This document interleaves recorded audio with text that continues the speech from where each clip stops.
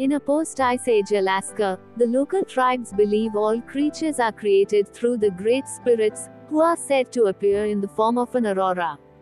A trio of brothers, Kenai, the youngest, Denahi, the middle, and Sitka, the eldest, return to their tribe in order to receive their totems, necklaces in the shapes of different animals.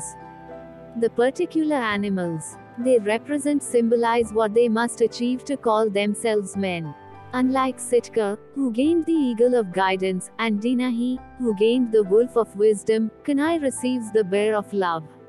He objects to his totem, stating that bears are thieves, and believes his point is made a fact when a brown bear steals their basket of salmon. Kenai and his brothers pursue the bear, but a fight ends on top of a glacier. During which Sitka gives his life to save his brothers by dislodging the glacier, although the bear survives the fall. After Sitka's funeral, an enraged Kenai blames the bear for Sitka's death. He hunts down and chases the bear up onto a rocky cliff, fighting and eventually slaying it. The spirits, represented by Sitka's spirit in the form of a bald eagle, arrive and transform K. Kenai into a bear after the dead bear's body evaporates and joins them. Denahi arrives and, believing that Kenai was killed by the bear from earlier, vows to avenge Kenai by hunting it down. Kenai falls down some rapids, survives and is healed by Tanana, the shaman of his tribe. She does not speak the bear language, but advises him to return to the mountain to find Sitka and be turned back to a human.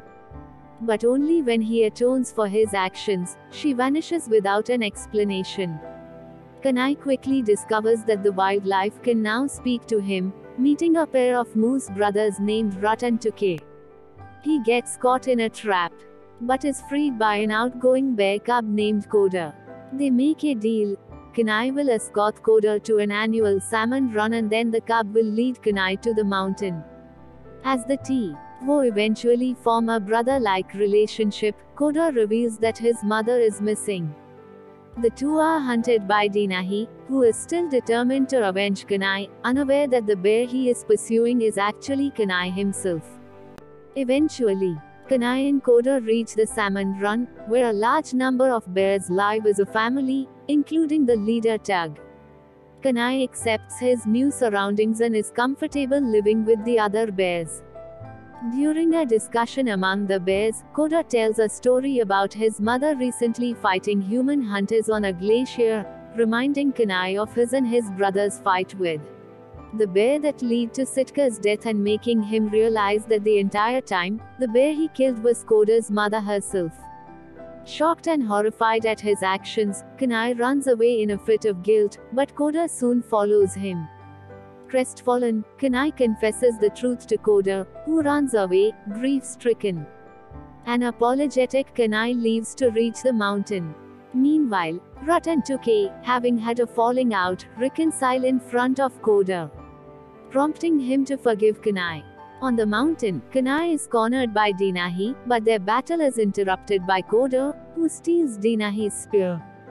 Kenai sacrifices himself for Koda, out of love, prompting Sitka to appear and turn him back into a human, much to Denahi and Koda's surprise.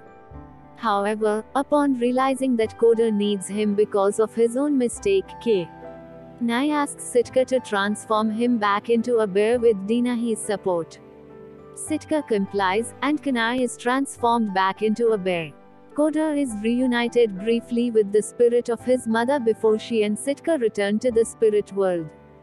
In the end, Kenai lives with the rest of the bears and gains his title as a man, through being a bear.